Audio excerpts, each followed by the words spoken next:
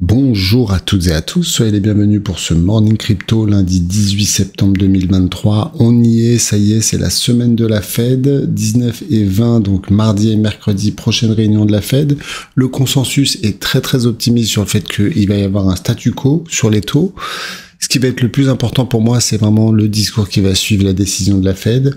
Limite, personnellement, j'aurais préféré qu'ils fassent comme euh, la BCE la semaine dernière, c'est-à-dire qu'ils augmentent les taux et qu'ils nous annoncent que ça y est, ils vont arrêter d'augmenter les taux.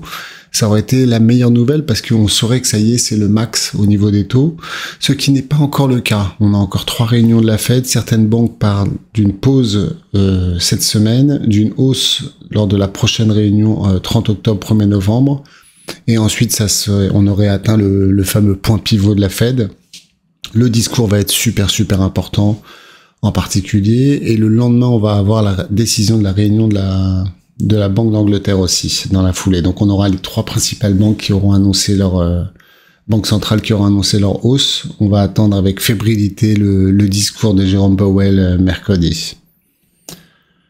Ensuite, ça c'est hyper intéressant parce que le discours est en train de changer par rapport à l'utilisation du Web 3, des, des blockchains et tout ça. Et ça, c'est intéressant, c'est Google. Google, vous savez, ils ont une entité, euh, une entité Web 3. Et grosso modo, ils nous expliquent que ce qui est important, c'est que le Web 3 est en train de résoudre des problèmes. Et donc ça, c'est vraiment très très important. On parle souvent des use cases, des cas d'usage. C'est la clé en fait pour le déploiement, pour le succès des crypto-monnaies en général. Euh, il fait vraiment la différence entre le fait de résoudre des problèmes et pas forcément sur le prix des tokens. C'est hyper intéressant. Il y avait une conférence qui s'appelle Token 2049 à Singapour. Vous savez, Singapour, c'est l'une des, des, places fortes des, crypto-monnaies, de la technologie blockchain.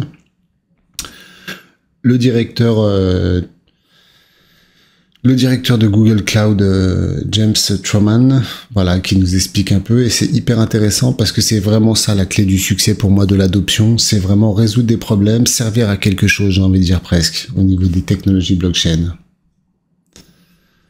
Ensuite, c'est assez incroyable, c'est euh, Base, vous savez, la layer 2 de Coinbase qui vraiment explose, 2 millions de transactions en une seule journée, donc c'est vraiment une explosion de Base. Je pense que c'était assez inattendu que Base explose à ce point-là. C'est encore, derrière la Binance Smart et Polygon Matic, mais c'est en train de rattraper énormément de réseaux Layer 1. C'est assez dingue ce succès, et en tous les cas, c'est une bonne nouvelle parce que dans ce, dans ce climat plutôt morose dans le secteur des crypto-monnaies en ce moment où il se passe pas grand chose finalement, eh ben, je trouve que c'est une très très bonne nouvelle pour, euh, pour Base qui est en train de tout simplement d'exploser au niveau de leur layer 2, vous savez, sur, euh, sur Ethereum. Suite ça aussi, c'est une bonne nouvelle. On l'a appris récemment. Il y a Deutsche Bank qui commence à proposer des services crypto-monnaies, en particulier de pouvoir conserver des crypto-monnaies. Donc ça, c'est une bonne nouvelle. Et je pense qu'il n'y a pas beaucoup de, de, pays où, sur un an glissant, vous avez de la croissance. C'est le cas en Allemagne. Il y a eu 355 millions investis en 2023. Donc c'est une croissance de 3%. Je pense que ça doit être l'un des seuls pays, on va dire, euh, où il y a, où il y a ce type de croissance parce que bien évidemment c'est plutôt tendance à bah, il y a de moins en moins de gens. On le voit ces dernières semaines et je pense que c'est une très très bonne nouvelle en particulier en Allemagne. On a l'impression qu'il y a une certaine dynamique par rapport à l'Allemagne et en tous les cas il y a beaucoup d'investisseurs qui arrivent euh, bah, on le voit sur 12 mois. Une légère croissance de 3% mais le fait que ce soit en croissance c'est euh, c'est assez énorme je trouve encore Coinbase. Coinbase, c'est intéressant, c'est qu'ils vont lister le, le stablecoin PYUSD de, de, PayPal. À la différence de Base, la Layer 2, pour l'instant, c'est pas un énorme carton, il me semble. Ça marche moyennement, mais je pense que ça va dynamiter un peu euh, ce stablecoin, le fait qu'il soit listé sur Coinbase. Et euh, c'est une bonne nouvelle par rapport à, vous savez, PayPal qui lance son stablecoin. Il y a aussi euh, le token TON va être euh, le token de, Telegram. On attend avec beaucoup de beaucoup d'attention le, les annonces, en particulier d'Elon Musk avec X. Je pense qu'ils vont pas se laisser distancer comme ça. Vous savez, son principal concurrent PayPal, il les connaît très très bien vu qu'il a été euh, à l'origine de cette société. Ça serait intéressant d'avoir un retour d'Elon Musk aussi bien sur euh, l'utilisation de X et éventuellement le fait qu'il accepte les crypto-monnaies. Mais aussi, n'oubliez pas, par rapport à Tesla, il a, affirmé il y a, bah, il y a quelques années en 2021 que Tesla accepterait encore le Bitcoin lorsque le Bitcoin serait euh, produit à, 50, à plus de 50% avec des énergies renouvelables. C'est le cas aujourd'hui et donc on attend aussi ce type d'annonce de d'Elon Musk. Donc ça, vous savez, c'est une statistique qui a tourné récemment, comme quoi l'Inde serait le, pays où la crypto est la plus adoptée. Donc là, il y a une précision de capital. Quand il parle d'adoption, il parle essentiellement adoption en termes d'achat et de vente de crypto-monnaies sur les exchanges, centralisés ou décentralisés. Donc ça, c'est le cas.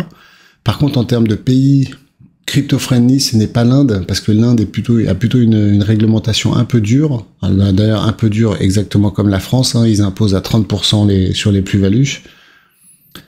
Et il nous explique que finalement, les pays les plus crypto-friendly, ça serait plutôt Singapour, on en a parlé, Émirats Arabes Unis ou la Suisse. Après, il y a aussi Hong Kong qui est en train d'arriver dans la, partie. Justement, Hong Kong, euh, un pari risqué d'après Vitalik Buterin. Vous savez, Hong Kong, c'est un peu le, laboratoire de la Chine et Hong Kong se lance vraiment dans pareil. Ils veulent concurrencer euh, Dubaï, ils veulent concurrencer Singapour et la Suisse, qui sont vraiment aujourd'hui les trois pays les plus, les plus crypto-friendly. Par contre, ce que nous dit Vitalik, c'est attention, hop, hop, hop, est un pari risqué. Si un projet cryptographique souhaite s'installer à Hong Kong, il doit avoir confiance non seulement dans le fait que la ville est accueillante aujourd'hui, mais aussi dans le fait qu'elle continuera à l'être dans les années à venir, lorsque toutes sortes d'événements inconnus, réglementaires, politiques et autres se produiront. La menace chinoise, je sais pas, moi je pense plutôt que Hong Kong c'est le laboratoire de la Chine, et je pense qu'on aura besoin de la Chine, surtout si... Euh, si les États-Unis durcissent un peu leur réglementation, ça serait toujours intéressant d'avoir la Chine comme qui se qui soit plutôt crypto friendly parce que les États-Unis vu qu'ils sont en compétition, je pense qu'ils voilà, ils s'aligneraient un peu sur la Chine. Un peu particulier le discours de, Vitalik par rapport à la Chine. Peut-être par rapport à la censure, par rapport au côté Big Brother de la Chine et le fait qu'ils se lancent dans les monnaies numériques, vous savez, de banque les MNBC. En tout cas, euh, Vitalik Buterin n'est pas convaincu par, euh, par Hong Kong, c'est son avis. Au niveau des marchés, on a un léger rebond. En tous les cas, on a des volumes très très faibles, 7,55 hein. sur le sur le Bitcoin, 3,4 milliards sur l'Ethereum. En tout cas, ce qui est intéressant, c'est qu'on est vraiment pas mal au niveau du cours, mine de rien. 26 600. Quand on regarde sur un an annuel, on est presque à 40% sur le Bitcoin, 22% sur l'Ethereum. C'est intéressant parce qu'il y a à peu près un an, c'était euh, The Merge, le passage en, Proof of Stake d'Ethereum, bah mine de rien, plus 22%, plus 40%. Donc quand on prend un peu de recul, on se rend compte qu'il y a quand même des performances sympathiques hein, dans, le, dans les principales. On a des tokens comme Ton, comme Tron, qui ont super bien marché ces 12 derniers mois. Voilà, c'était les paris qu'il fallait faire. Par contre, les, projets classiques, c'est vrai qu'ils galèrent. Les Cardano, les, euh, les BNB, les Polkadot, les polygones nous font vraiment pas des, belles performances pour le moment, mais après, à un moment donné, ça tourne. On a une espèce de réveil, en tout cas, ces dernières semaines. Ce qu'on va suivre avec la réunion de la Fed, ça va être important, c'est l'euro-dollar, qui a vraiment baissé, et qui a baissé encore plus avec le fait que la BCE nous annonce la très très bonne nouvelle, comme quoi, ça y est, ils ont atteint grosso modo le point pivot.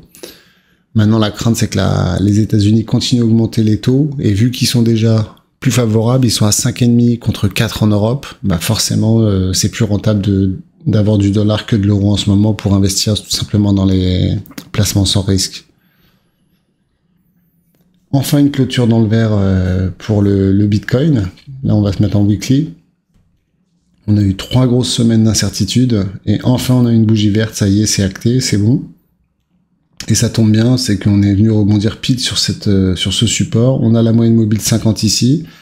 On espère que cette semaine, ça va confirmer la semaine dernière avec la BCE, ça va donner un coup de fouet au marché.